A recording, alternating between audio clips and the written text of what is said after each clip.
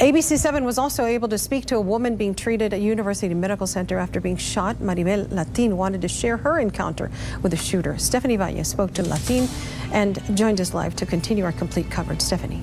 Estela Maribel Latin said that she and her 10-year-old daughter Maylene were taking part in a fundraiser for a youth soccer team, the El Paso Fusion. They were selling aguas frescas outside both entrances of the Walmart. Latin says she heard what sounded like firecrackers and quickly realized they were gunshots. So I just yelled, this shooting, throw yourself on the floor. We all threw ourselves on the floor. We had nowhere to run. There was nowhere, no way we could have ran out of there. I hid behind the SUV that was there, behind the tire, and I looked to the front. This guy was two cars away from us, just shooting at us. And I saw him reload his gun and walk towards us again. And he just cold bloodedly came straight at us and shot us. He shot eight rounds. I had to pretend I was dead. And he was right next to me. And he shot eight more rounds. And all I could say is, God, please take care of my children. And please don't let him do anything to my daughter or any of the girls in our team.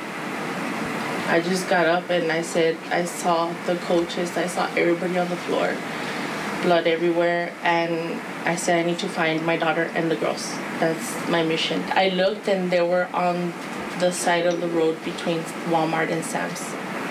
We hid between a couple of cars, sat on the floor. The girls were crying, they were asking about their dads, they were asking about their moms. I knew where their dads were but I couldn't tell him. And I just told him, let's just be quiet, don't say anything. This guy's still out here. We don't want him to hear us. I felt him right next to him. He was right next to him, me. I, he wasn't breathing hard. He was the calmest person ever. He didn't say anything. Just plain hatred and just anger. Every shot that he made hit somebody. This guy was on a mission to just shoot and kill. And that's what he did. Latin said she didn't realize that she had been shot. She was wounded on her arm and her foot. Now, she told me that her daughter was not injured physically, but she wants her to see a counselor because her daughter indicated that she saw a woman get shot while she was hiding inside the Walmart with her fellow teammates. Estela.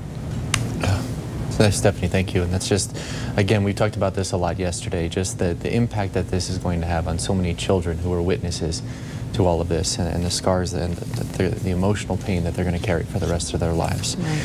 Thank you, Stephanie. You can read a full account of Maribel Latin's experience right now on KVIA.com.